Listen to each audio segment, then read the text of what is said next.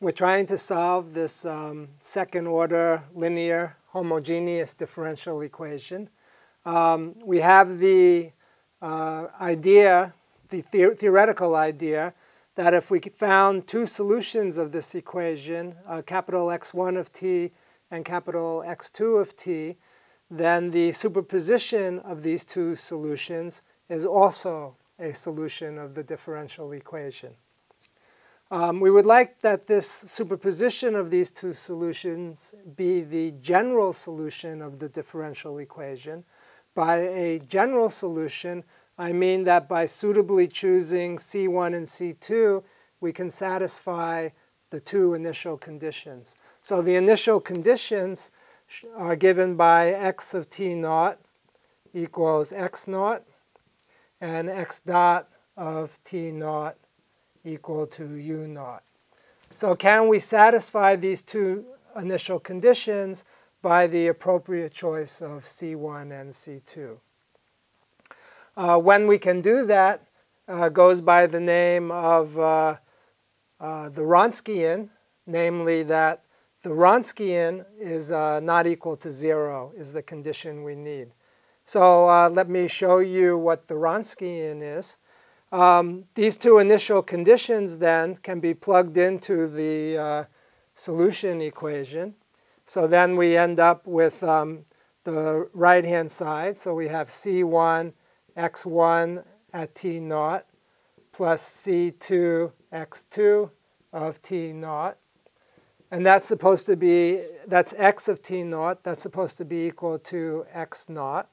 That's one uh, equation, linear equation for C1 and C2 now. The second equation is that the derivative of x at t naught equals u naught. So the derivative of x is C1 x1 dot of t naught plus C2 x2 dot of T naught. And that's supposed to be equal to the initial condition U naught. So what we have here is a system of um, two uh, linear equations and two unknowns. The unknowns are C1 and C2. Um, when is there a unique solution to this equation? Um, if you know your linear algebra, this is a uh, matrix equation where the unknown coefficients are C1 and C2. And there's a solution to this equation when the determinant of the matrix is not equal to 0. So we can define the Wronskian as the following determinant. So we define W, the Wronskian, to be the determinant of um, x1 of t naught and x2 of t naught.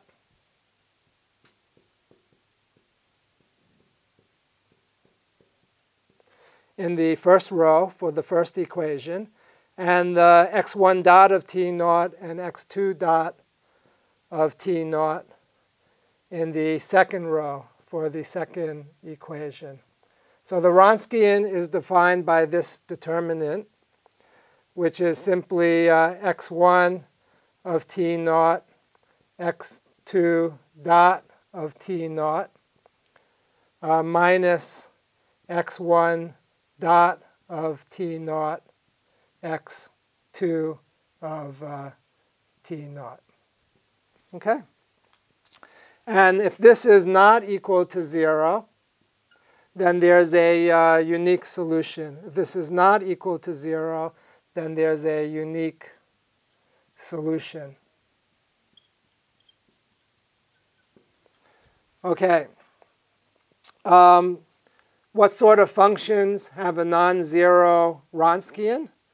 Um, most of the ones that we uh, find when solving this type of differential equation will have a non-zero Wronskian. I can give you uh, one simple example here. So we can uh, try uh, two functions. We can try x1 of t equals uh, sine omega t.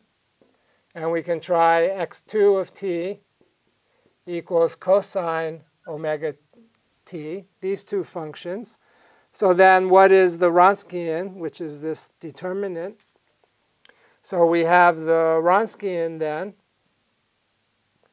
is equal to x1 of t naught times x2 dot of t naught. So x2 dot is a minus omega sine omega t. So that becomes minus omega sine times sine, sine squared omega, and then we evaluate at t naught, minus x1 dot times x2. x1 dot is omega cosine omega t. So minus omega cosine omega t times cosine omega t is minus omega cosine squared omega, and we evaluate at t naught. So the Wronskian at t naught is equal to minus omega times sine squared plus cosine squared, which is just minus omega. And this is not equal to 0 when omega is not equal to 0. Okay? So these two functions have a non-zero Wronskian. Let me uh, summarize. We're trying to solve this uh, second order linear homogeneous differential equation. Let's say we found two solutions, x1 and x2. We can find uh, another solution, which is what we want to call the general solution of this differential equation by using the principle of superposition. So we multiply the first solution by a constant and add it to the second solution multiplied by a constant. This is a general solution provided we can satisfy these two initial conditions. So the question is, when can this general solution satisfy these two initial conditions?